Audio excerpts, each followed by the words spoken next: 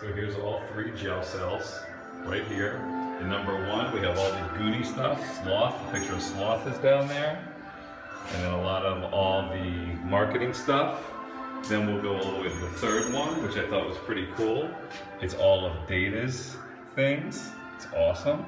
And even his bike and even his uh, Pinchers of Peril are in here. And then finally, you can see we have a whole bunch of stuff here. It says exactly what's going on. Another one.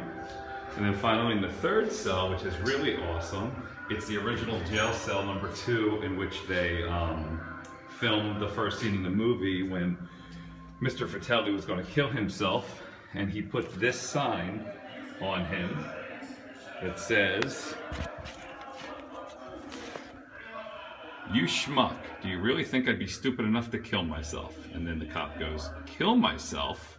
And then he hit him over the head with this pipe. So this is the cell that had all this stuff in it.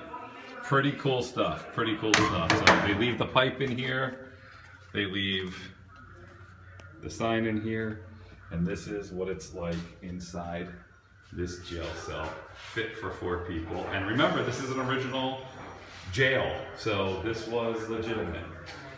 So pretty cool stuff, guys. So I'm gonna come over here, and I am going to go onto my list, and I am going to cross off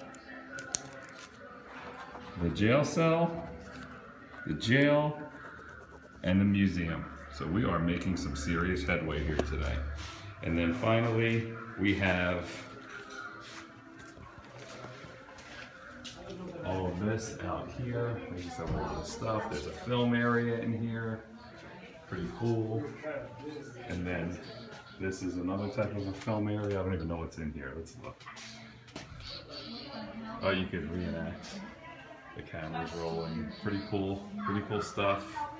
And then they have a place where you could buy some Goonie stuff in here, which is really neat. Awesome. And you even have We Jack didn't up know there. we Here's got- Johnny. Hurry kind of with appointment.